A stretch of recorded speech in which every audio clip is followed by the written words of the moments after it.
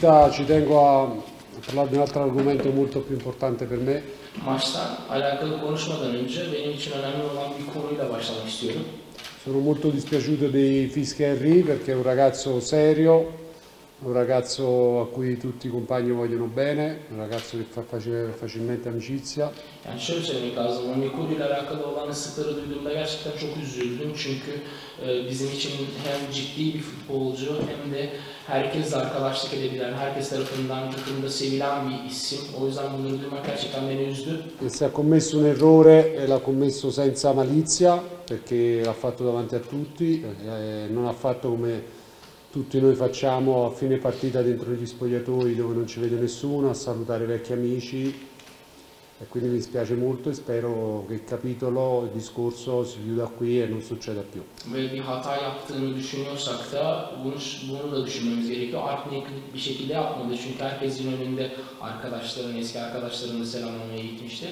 Ve bizler gibi mesela art niyet arayacaksak da soyunma odasında belki de gizli gizli sarılabilir herkese ama herkesin önünde yaptı. O yüzden art niyet aramamak lazım bu konuda ve gerçekten bunları duymak e, üzücüydü ve inşallah umarım da burada bu konu kapanmıştır.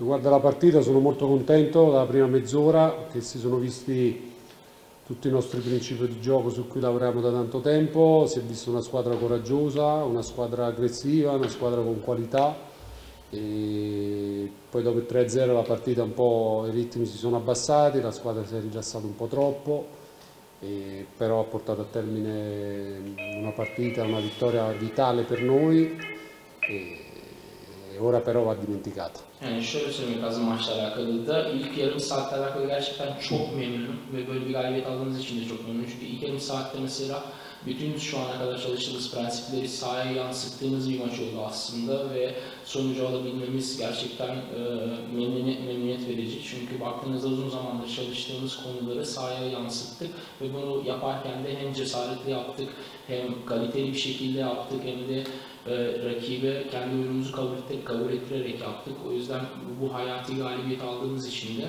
e, çok memnunum. Perché la prossima settimana sarà fondamentale per noi per eh, continuare a sognare e per raggiungere a questo punto i nostri obiettivi. Quindi sarà fondamentale recuperare forze mentali e fisiche, ma molto di più quelle mentali, insomma non farsi prendere dall'euforia di una vittoria così. Şimdi tabii ki de böyle bir galibiyet aldıktan sonra da kafamız direkt bir dahaki maçta ve bizim için ne kadar önemli bir maç olduğunu hepimiz biliyoruz ve böyle bir maçta harcadığımız enerjileri de hızlı bir şekilde toparlamamız gerekiyor. Hem mental olarak hem fiziksel olarak çünkü hayallerimize hala koşmak istiyorsak bir dahaki maçın önemi öne çıkması gerekiyor ve her şeyi elimizden gelen her şeyi yapmamız gerekiyor galibiyet için.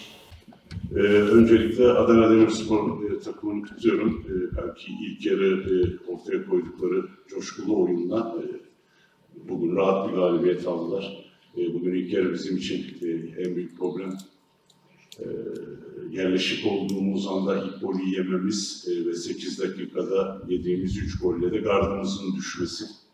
E, böyle maçlarda, böyle sporlarda e, sizin oyununuz düştükçe rakibin coşkusu da artıyor ve devre arasına ihtiyaç duyuyorsunuz. Ki oyuncu değişikliği yaparak e, oyuna başladık. E, burada oyuncu değişikliği kötü oynayan oyuncuları değiştirmek değil, oyun formatını e, oraya uygun hale getirmek ve ikinci yarıda amacımız e, yemeden bir gol atıp e, oyuna tutunabilmekti.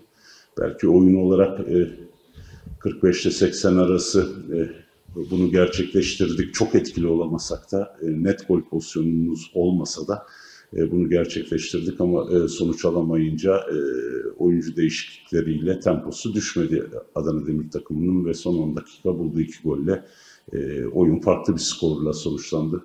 Bu skoru kabul etmek mümkün değil. Ancak haftada 3 maç oynadığımız periyotta bugün buradan gerekli dersleri alarak yarından itibaren çarşamba oynayacağımız e, Kayseri maçına hazırlanmak durumundayız. E, orada e, buradan daha fazla e, mücadele ve odaklanmaya ihtiyacımız var. Takım bunu yapabilecek güçte. E, umuyorum toparlar ve çarşamba günü e, istediğimiz e, skoru Kayseri'den alırız.